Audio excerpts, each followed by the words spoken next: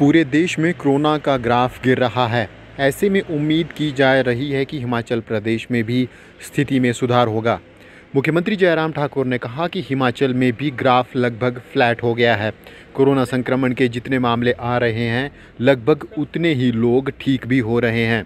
प्रधानमंत्री नरेंद्र मोदी से video conferencing पर चर्चा के बाद पत्रकारों से अनौपचारिक बात करते हुए जयराम ठाकुर ने कहा कि हिमाचल में भी स्थिति में सुधार हो रहा है।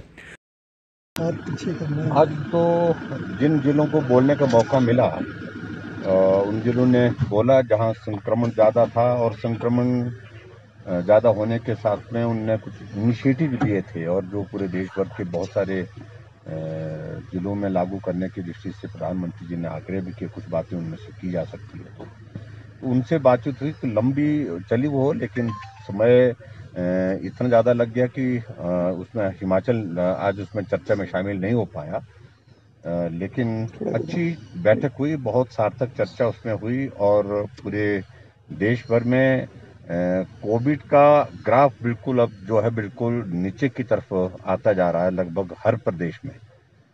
तो ऐसी सूरत में हम भी उम्मीद करते हैं हिमाचल प्रदेश में पिछले कुछ दिनों से ऐसी स्थिति चल रही है कि हम बिल्कुल फ्लैट जितना रिकवर हो रहा है, उतने ही लगभग एक्टिव केसेस पिछले दो तीन दिनों में आए हैं।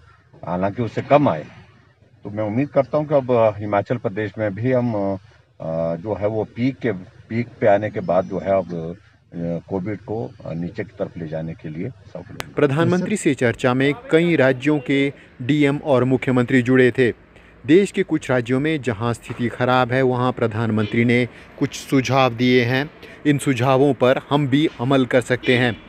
अब उम्मीद की जा रही है कि हिमाचल में पीक आने के बाद अब धीरे धीरे मामलों में कमी होगी। ईटीवी भारत के लिए शिमला से राजेंद्र शर्मा।